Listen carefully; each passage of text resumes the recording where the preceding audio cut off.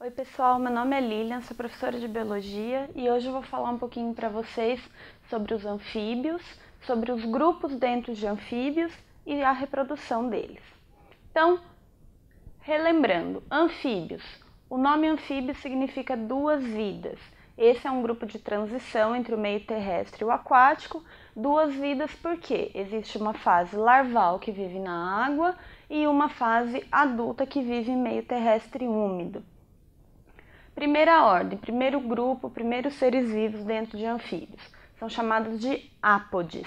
A significa negação. Então, eles não têm patas. Pode significa patas, pés, tá? Então, são os anfíbios que não possuem patas. Quem são eles? Os representantes mais conhecidos são as cobras cegas ou cecílias. Coloquei um asterisquinho aqui no falodeu. O que é esse falodeu? É um órgão que está relacionado à reprodução, é um órgão copulador. Então, ele é um membro que só existe no macho e ele é utilizado para introduzir os espermatozoides dentro do corpo da fêmea. Portanto, a fecundação dos ápodes ela é interna. Diferentemente dos outros grupos que a gente ainda vai ver, o desenvolvimento aqui dos ápodes ele é direto. O que, que acontece? quando o desenvolvimento é direto, não tem fase larval. Então, é uma exceção aqui dentro do grupo dos anfíbios. Então, o desenvolvimento é direto. Então, a cobra cega, quando ela vai dar a luz, os filhotinhos dela nascem prontos, dentro de ovos, porém prontos, prontos para viver longe da mãe.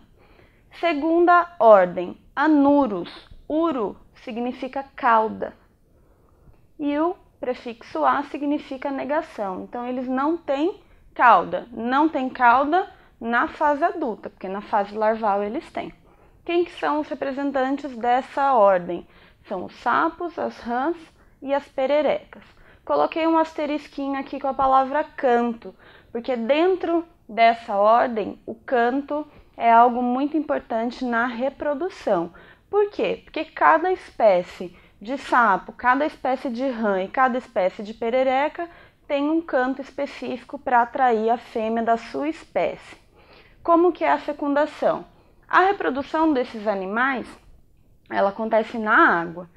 O sapo, vou dar o exemplo do sapo que é o mais fácil de entender, né? São todos iguais. O sapo, quando chega a época da reprodução, as fêmeas elas são muito escassas. Então os sapos eles competem muito por elas.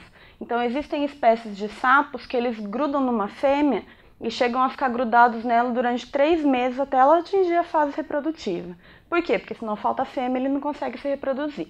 Mas enfim, ele abraça essa fêmea dentro da água e aperta tanto ela até ela liberar os óvulos dentro da água.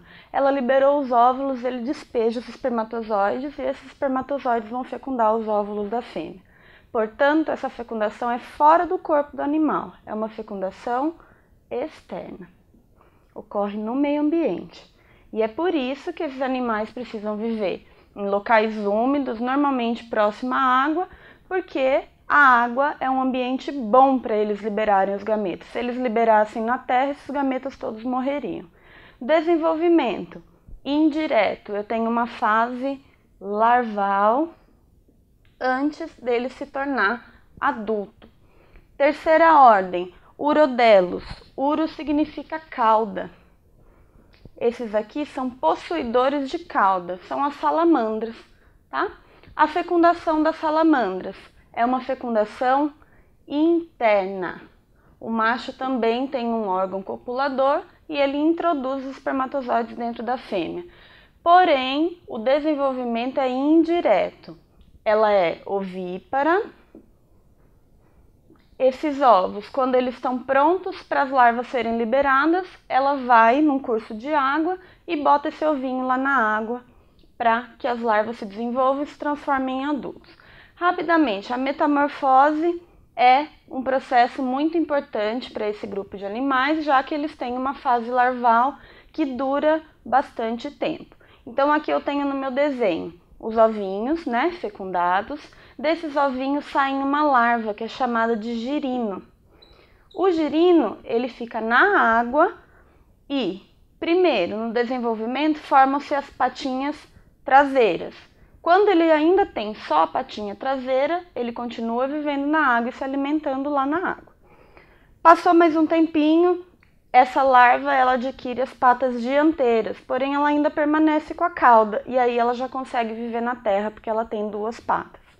Esse animal semi-larval se transforma no indivíduo adulto totalmente sem cauda. Essa cauda que permaneceu ainda no início da vida terrestre, ela serve de alimento para o futuro sapinho poder crescer até ele conseguir caçar. Bom, pessoal, era isso que eu tinha para falar para vocês. Espero que tenha ficado claro. Até a próxima.